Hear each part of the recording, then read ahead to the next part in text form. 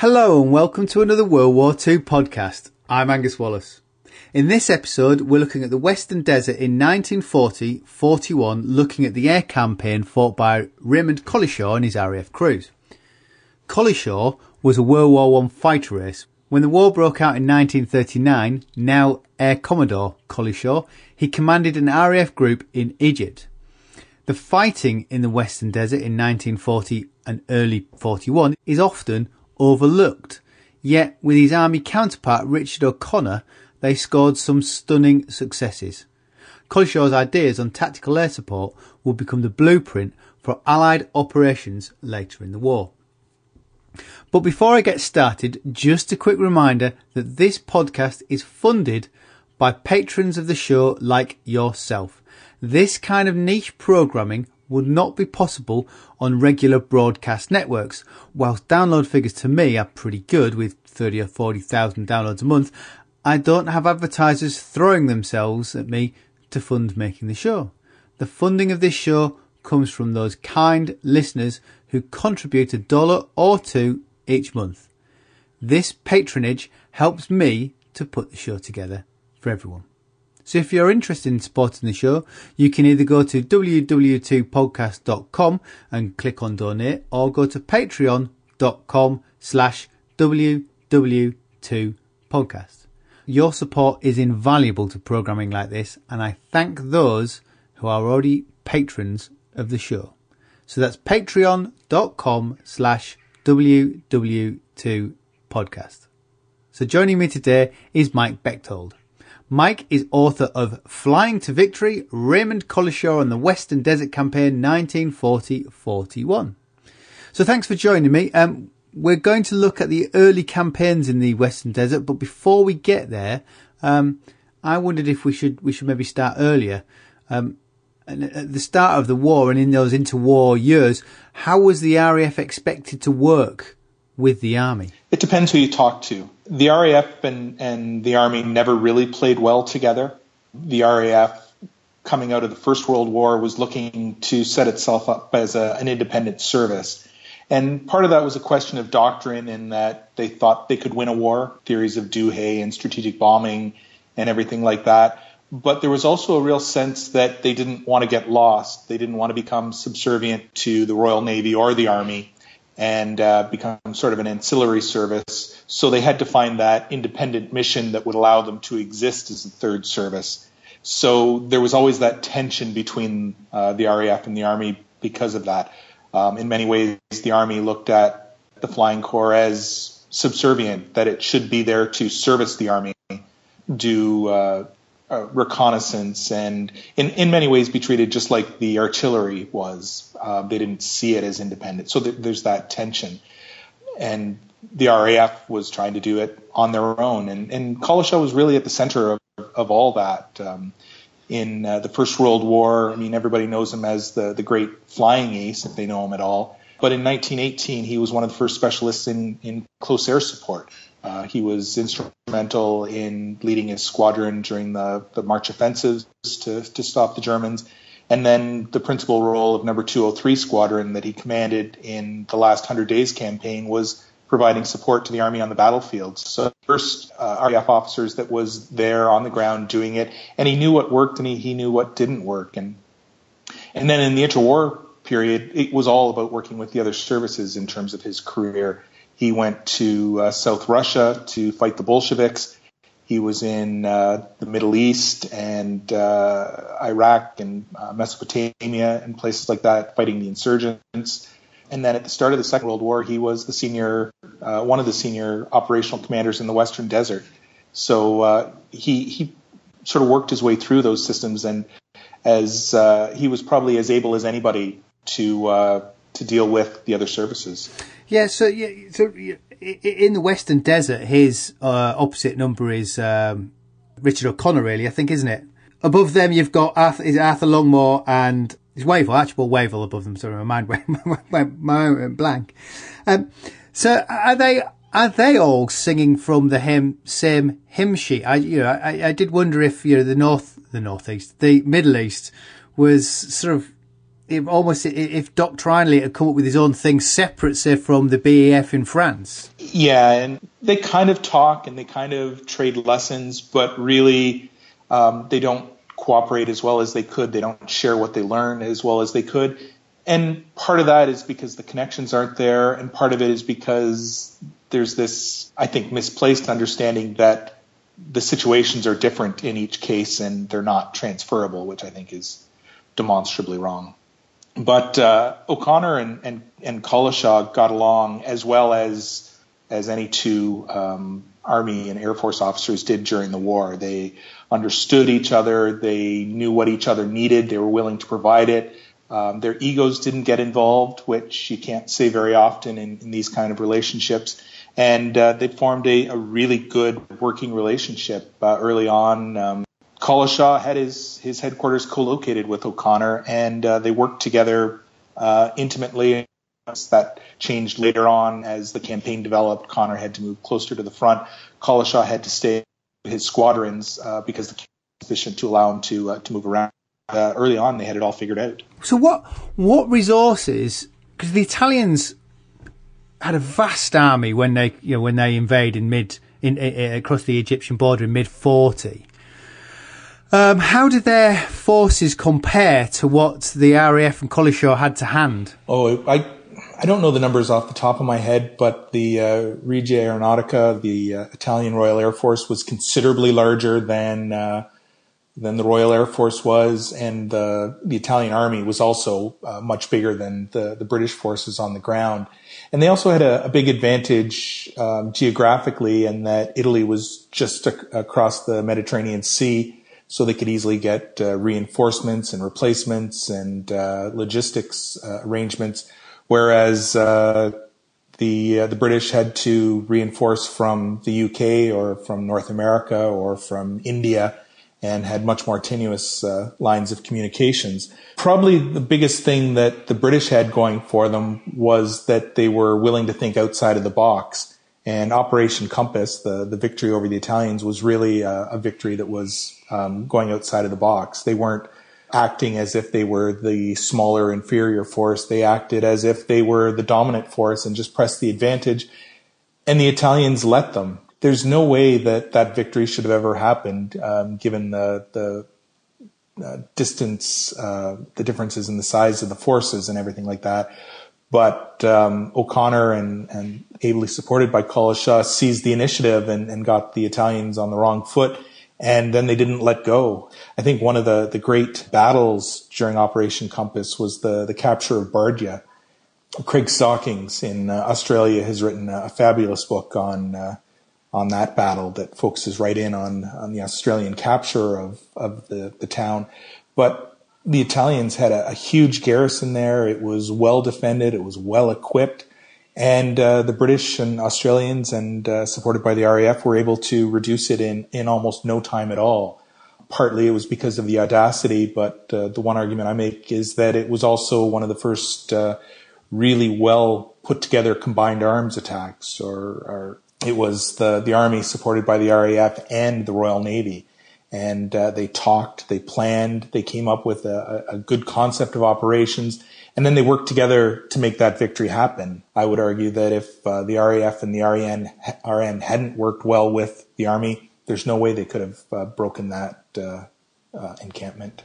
So, how were the RAF employed in that instance? They were employed the way they should be and the way they were later in the war. They started off with uh, reconnaissance. They went in, they looked, they figured out what the uh, Italian defenses were. And uh, then before the, the army attacked, they went in and they, they tried to reduce as many positions as they could. The Navy tackled uh, positions that were really close to the coast. The RAF attacked the, the outposts along the, the interior and uh, reduced them, got them worried, got them uh, cut off, uh, destroyed barbed wire entanglements, uh, cut communications cables and everything like that. And then when the Australians attacked, they lifted their attack. So instead of attacking right in front of uh, the Australians, which is going to cause a, a blue on blue uh, friendly fire thing, they moved inland more and worked to keep dislocating the Italians, slow their transfer of forces, deal with their artillery to uh, degrade its performances and things like that, and really made a quite a substantial contribution to the, the victory. I mean, Collishaw was helped by the fact that uh, it's Arthur Longmore, his his CO, that you know he, he insists that targets you know must be beyond the army's battle space, and Collishaw's you know no proponent of um, bombing frontline frontline positions and moving you know moving target moving you know armored targets. Why did they come to this uh, decision? Because in some respects, you know, people talk about you know the Blitzkrieg and you've got the Stukas coming in as mobile artillery, and this is not what they're proponents of. No, the RAF couldn't do close support. I would argue they couldn't do close support even in Normandy in the way that the uh, the army wanted them to do, which is taking on targets on the immediate frontage of the uh, the army. Collishaw learned this as early as 1918 um, during the Amiens offensive, and he knew that to attack targets on the battlefield, it's extremely expensive in terms of uh, aircraft and pilots. Uh, targets are well defended, they're difficult to find, they're difficult to hit, and you're not going to be very effective. Where the Air Force can be effective is attacking targets beyond the battlefield, attacking supply lines, attacking reinforcements, interdicting movement to and from the battlefield. And that's where they can be really effective. That's where their uh, strength can be. I had a, really interesting experience about 15 years ago in Normandy where uh, I had uh, rented a small airplane to, to go up and take some pictures of the Normandy battlefield. I took off from uh, Carpiquet Airfield, which is just outside of Caen, right in the center of, of the bridgehead. And as soon as we got up in the air, you could see the D-Day beaches, you could see Arromanches, you can see the Caen River and Caen Canal, and everything is really easy to find. So we flew north first over the, the Canadian battlefields, and I can see all the little towns where the, the Canadians fought. We went to uh, and looked at the, the remnants of the the Mulberry Harbor, flew along the coast, uh, Gold Juno Sword beaches, down the Caen Canal, over Caen. But as soon as I got south of Caen, it became very difficult to pick out things because it's just a not a featureless battlefield, but it's not as easy to landmark things. So we uh, we found a few things, and but it was much harder to identify even towns, let alone specific points of interest. And we kept flying south to Falaise. It was easy to find Falaise but then we wanted to find a little village called Saint-Lambert-sur-Dives, which is um, sort of in the center of what became known as the Falaise Pocket. It's where the Canadians engaged the, the Germans as they were trying to escape the, the pocket. And we couldn't find it.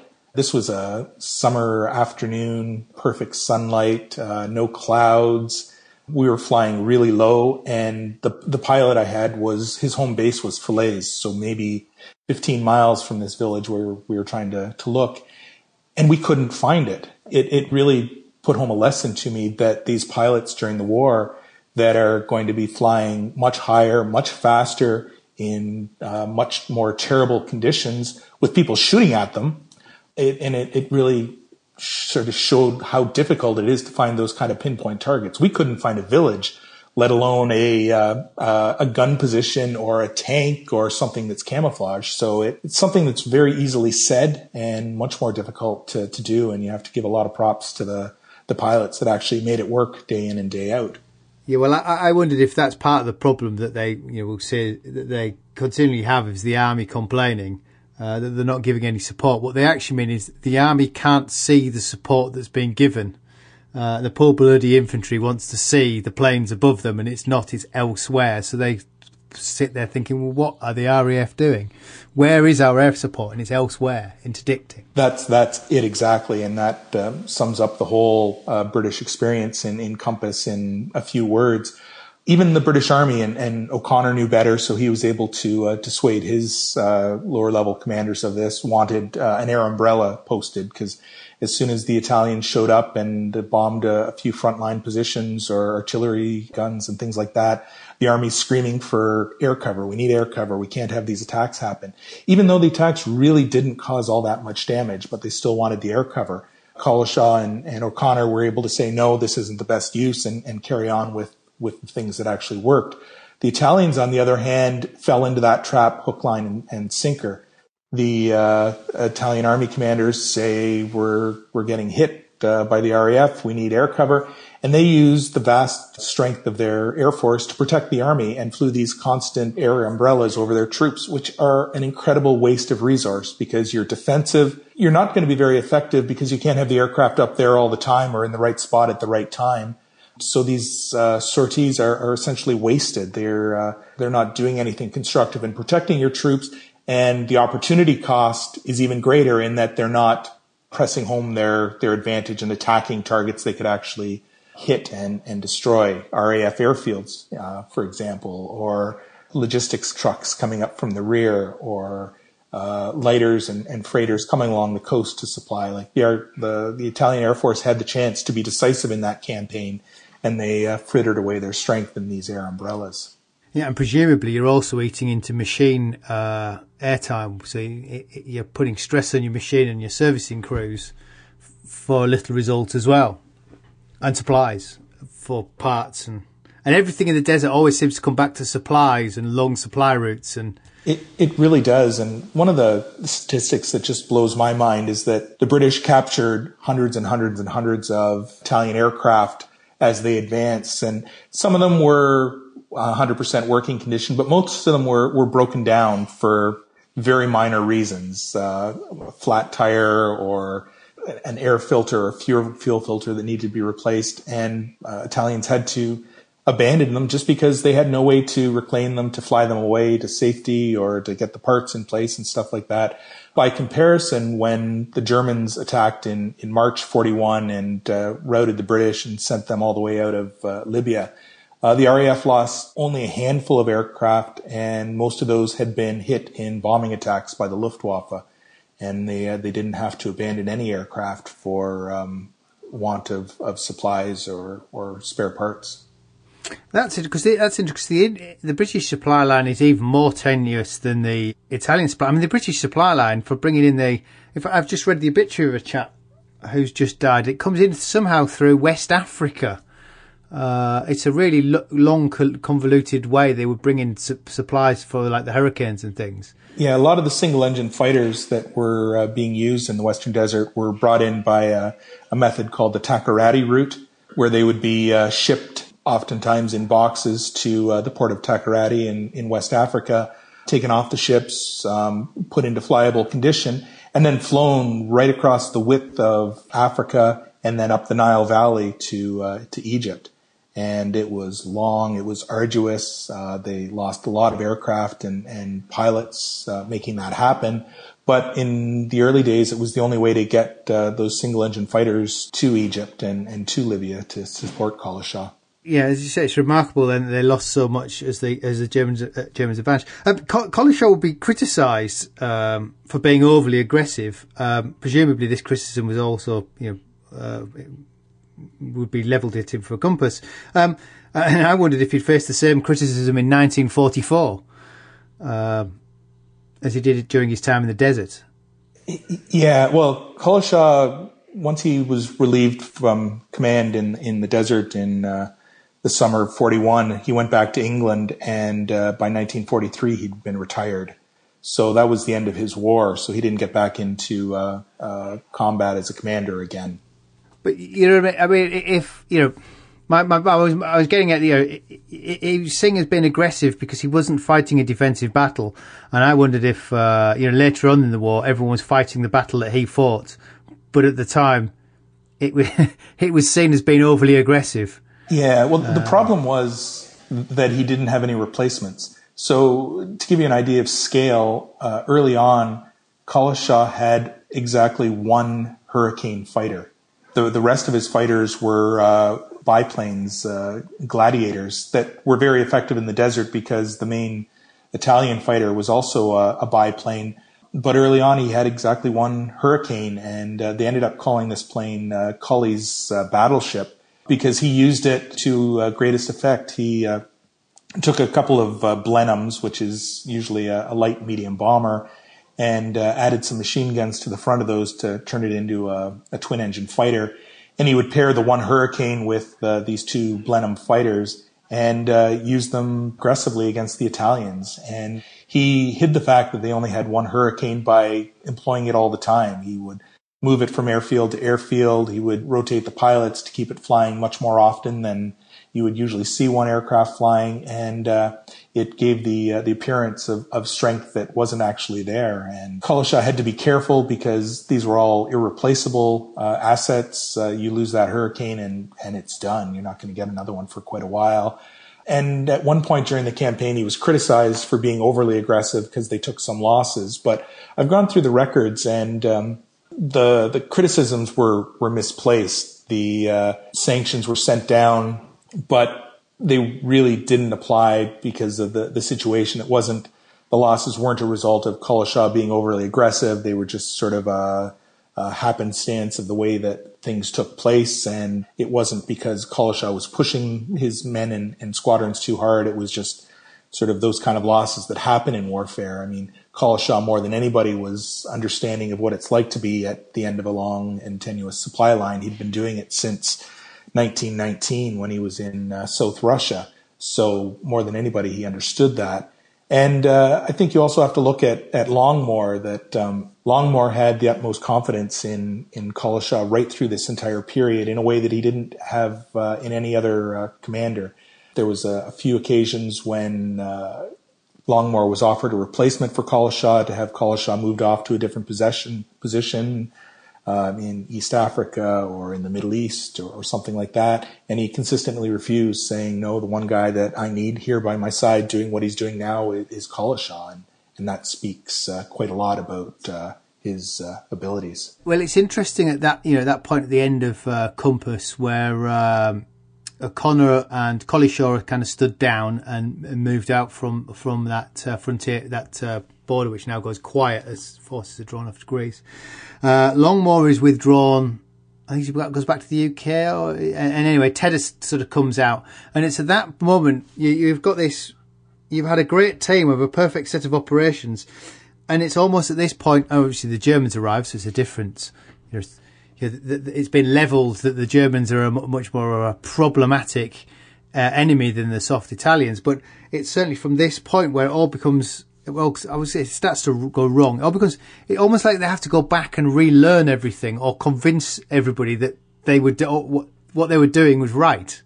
Does that, does that make sense? Yeah, it, it makes total sense because there is this um, tendency to dismiss what happened in Compass completely and totally because, well, it was against the Eyeties. It was against the Italians that's just a second, maybe even a third class uh, opponent. And yeah, we had our way with them, but when it's the Germans, it's going to be a totally different story. So at the end of, of Compass, um, everybody was exhausted. Forces needed time to regenerate and, and reinforce and repair and everything like that. Collishaw was sent back to the uh, the Nile Delta. O'Connor was moved back as well, and they gave some other guys a chance to to get the thing done. And uh, the RAF commander was uh, Brown, who was actually quite an exceptional guy, and uh, Neame was the army commander, and not necessarily through their faults, although I would probably argue that the army didn't do all they could to forestall the, the German uh, attack. Um, all of a sudden, uh, Rommel pressed his advantage and, and, kept pushing, and all of a sudden had the British uh, in full fledged retreat. And uh, as soon as it was clear that things weren't going that way, Collishaw was called back and, and, sent out to reclaim command of the RAF in the field. And uh, O'Connor was also sent forward to uh, to take over his former position. And unfortunately, with O'Connor, he went out to do a reconnaissance and ended up getting lost and, and subsequently captured. And uh, that was the end of his story in, in North Africa. But uh, Collishaw took over and, and really got the RAF back on a solid footing. How did he play a defensive role? You know, what what did he change the uh, strategy for defence as opposed to uh, offensive compass? Most of the principles are the same. It was all about keeping your forces as far away as they could. So sending flights off for bombing the, the German ports, uh, trying to interdict the ships coming across to resupply and, and reinforce the uh, Axis forces, uh, keeping the pressure on uh, Tobruk to make sure that uh, that port isn't captured, because that was sort of the one thing that was able to hold out uh, against Rommel at that point. And uh, the Australians held on to Tobruk and, and didn't let it go, and and the RAF did everything they could. And in some ways, that was the focal point of the battle, uh, the air battle at that point. The RAF um, was really uh, made defensive at that point because the the Luftwaffe and, and the Italian air forces were both attacking Tobruk very hard. And they weren't able to stop those attacks, but they were able to interfere with them enough that the Luftwaffe wasn't able to be decisive in turning the tide in the way that the RAF had been at Bardia and also in the initial capture of, of Tobruk in uh, January 1941. So there's a sort of a, a brouhaha, isn't there, at Tobruk, where they actually uh, Collishaw wants to remove the planes from Tobruk, whereas it's. I wondered if Tedder is much better politician than Collishaw. You know, so Collishaw wants to move the planes from Tobruk perimeter because they're losing them. They lost 27 of 32 planes and only 11 Hurricanes left in the Middle East. So he wants to move them with from the, with, with the perimeter, but Ted, he's not supported by Tedder.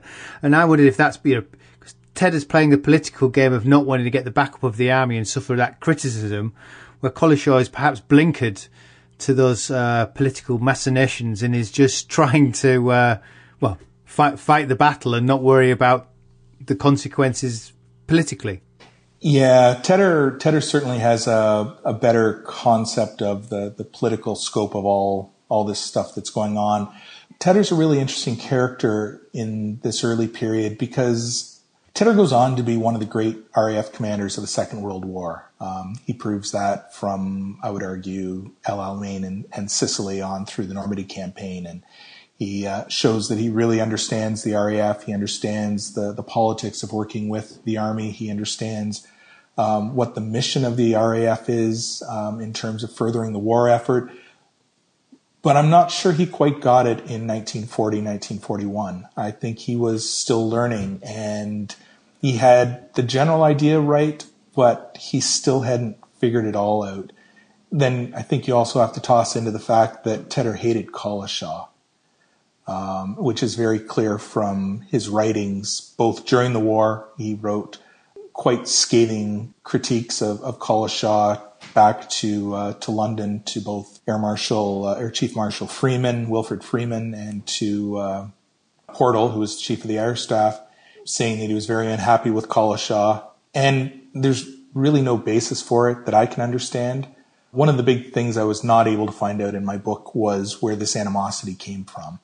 Um, because it's very clear from the time Tedder first shows up in the Western Desert in December 1940 that he doesn't like Collishaw and he wants to get rid of him right away. To me, that says there's some pre-existing animosity. This isn't a, a judgment or a view that was formed on the spot, but it's uh, sort of a pre-existing condition. And I'm 100% sure that something happened between them in the preceding 20 years that turned Tedder against Collishaw. And, and I, I don't know what it was, but undoubtedly they crossed paths. I couldn't find an exact place where they were posted together or something like that, but they, they crossed paths over and over again in, in the UK and in the Middle East and uh, various other places. I mean, Collishaw was, was that kind of fighter pilot personality. He was loud. He was boisterous. He enjoyed his drink. Uh, there's, there's great stories of him, uh, even when he was, uh, commanding in the Western Desert that he'd be the last man standing in the mess uh, even when all the, the, young pilots had sort of fallen over and been dragged back to their bunks and, and Collishaw was still going. Tedder, however, was, was the exact opposite. He was a, a very studious, uh, academic type. He drank, but certainly not to excess. He wouldn't have been the life of the party in the mess in the way that Collishaw was. So right there, you can see that kind of personality conflict that could possibly develop there. But I, I I'd be willing to bet that in the mess, sometimes, somewhere in the 1930s, maybe even the 1920s, the two of them crossed paths and Collishaw did something that soured Tedder on him. And Tedder, I think, is one to hold a grudge. And uh, he held a grudge so that when he got to the Western Desert, um, it was it was quite evident that he was going to get rid of Collishaw as soon as he could. Like I said, Tedder became a great commander. I don't think we saw his best work in, in the Western Desert. And to me, the best example of that is Operation Battle Axe. Battle Axe was the, uh, the British offensive in June 1941 that was uh, uh, an attack designed to push the Germans back and uh, liberate uh, Tobruk. And the British have quite numerical advantage at this point as well, don't they? Yeah, especially in tanks. Um, Churchill liked his, he called them his tiger cubs um, and it had made some uh, quite difficult decisions to send uh, substantial reinforcements out to the Middle East. You have to remember this is a time when uh, the Battle of Britain has been won, but there's still a, an imminent threat of uh, an invasion in the British Isles, and the British are desperately trying to uh, reinforce their army, build up their strength after losing most of the equipment in, in France with uh, the Dunkirk evacuation. So Churchill really sort of put things on the line by sending as much as he did to the Middle East and had uh, great expectations for the uh, the Battle Axe offensive. And uh, Battle Axe didn't go as well as it, it was expected. It was a, a, battle that could have gone either way, but it just sort of the way it worked out. Uh, Rommel was able to get his forces in place on time and uh, managed to uh, contain the uh, the armored thrusts and stop battle axe, and Tobruk wasn't relieved, and uh, the British had quite substantial losses in both infantry and and tanks, which were quite irreplaceable at that point. The reason I say I don't think Tedder was sort of at the top of his game at this point was that rather than trust Collishaw to run the battle that he'd run during uh, Compass, which was sort of taking the battle to the uh, the, the enemy, doing interdiction, attacking distant targets, uh, slowing the flow of reinforcements to the front. He uh, bought into the army's line saying, we need an air umbrella. We need uh, intimate defense. And so for the first two days of the battle, rather than being free to sort of attack the targets of opportunity, and there were a lot, um, and I think it maybe could have made a difference in the battle, Collishaw had to task his planes to fly cover over the British Army and lost any impact that aircraft could have, have had to play in the success of the battle. Um, by the third day, it was clear things were going wrong. Tedder was being pressed from London saying, what's the RAF doing? Why aren't they attacking? So he finally unleashed the RAF and, uh, I, I, think that uh, it was too late at that point to turn the tide of the battle, but what the RAF was able to do was to stop a, a much more complete Axis victory and uh, give the uh, the army the time they needed to escape with some semblance of, of order rather than being encircled and destroyed, which is how it was looking to be going um, by the end of the second day.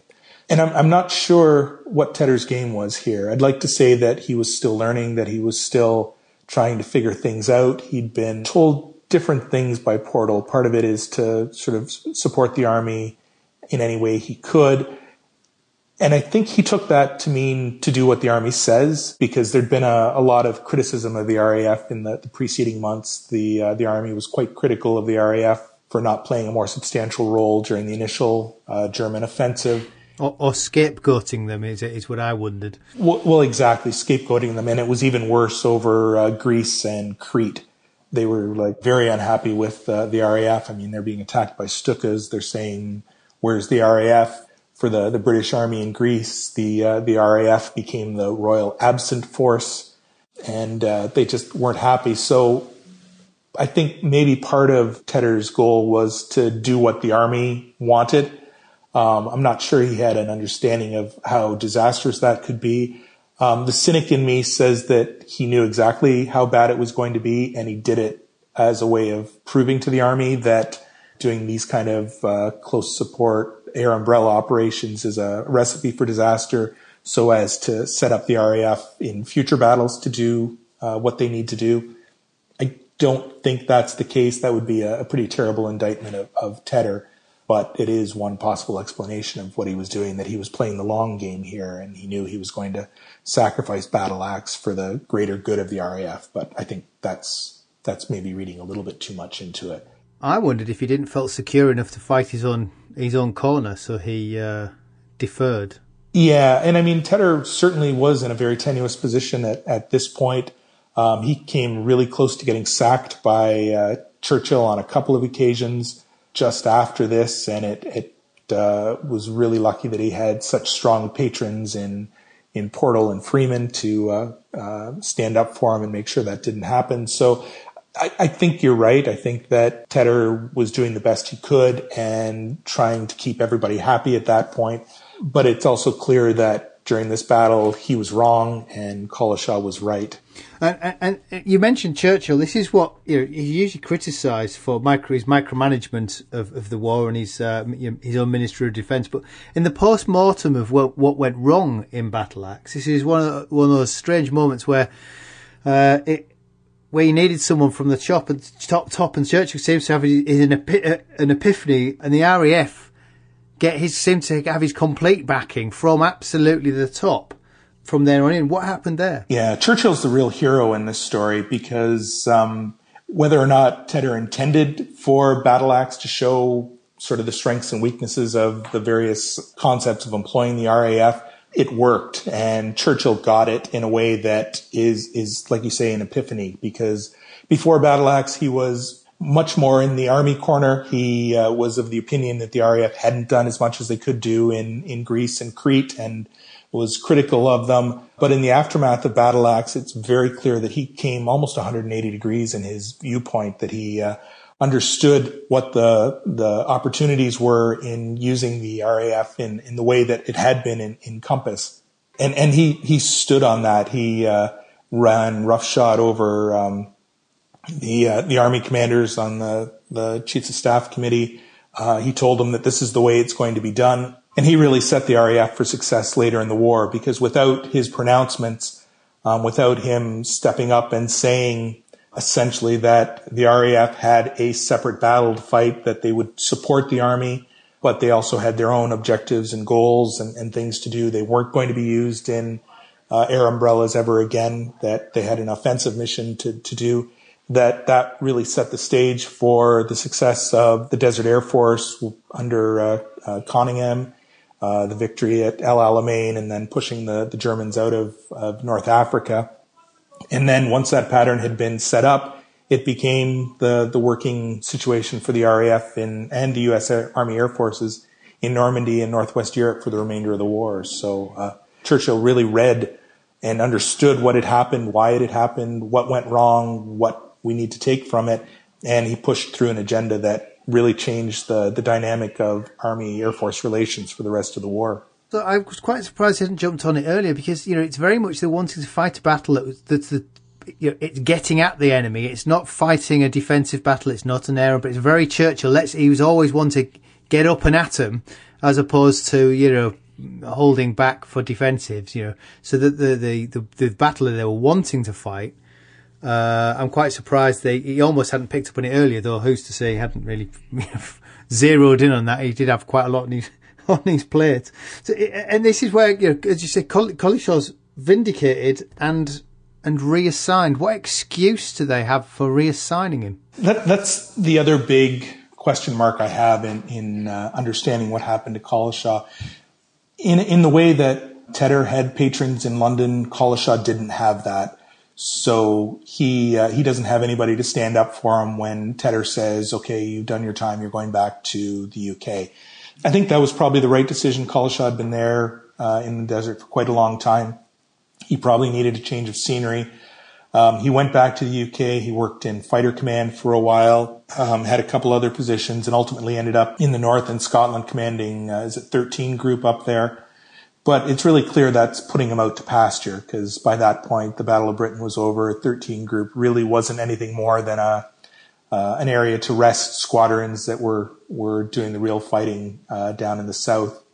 I think there was also some health issues. Um, Collishaw spent some time in and out of the hospital in late 42 and, and early 43.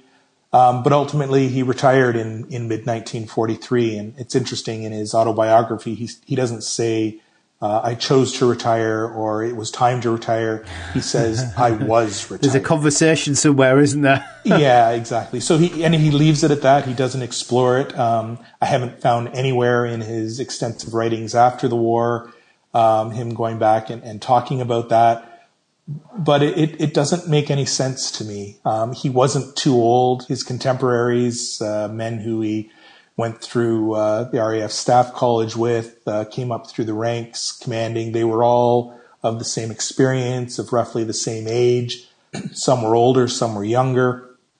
And uh, to take a man with with Collishaw's experience and retire him in the middle of a shooting war, doesn't make any sense. So uh, there, there's something more going on here that I haven't been able to, to track down, um, and I'm not sure I ever will be able to track it down. But uh, yeah, it's one of the outstanding questions from this. It, I wondered if his face doesn't fit for some reason, or I, but I couldn't think why. There's a, there's you know, there are other people who sort of suddenly get uh, retired, and they're usually fit, face fitting.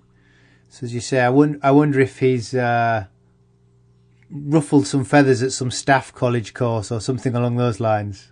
Yeah, I'm I'm, I'm sure that it, it has everything to do with the personalities involved. I mean, um, oh, I forget his name right now. The commander during the Battle of Britain. Um, Dowding, Hugh Dowding.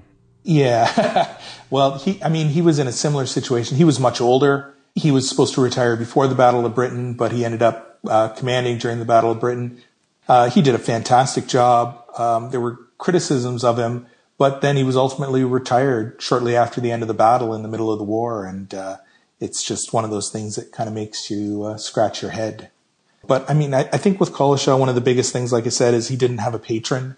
He didn't have that senior commander that uh, sort of had taken him under his wing and was going to protect him and and protect his career, shepherd him through appointments and so forth. And I mean, the closest you would have to that is Longmore, uh, but Longmore was also kind of shuffled off and didn't do anything much after uh, he left the Middle East. So, uh, yeah, there was nobody there to sort of make sure that he remained in, in contention, and other people came up and lots of very capable men that uh, got the job done, but uh, yeah, Collishaw wasn't part of that equation. So I, I made a note to myself: Maverick outsider.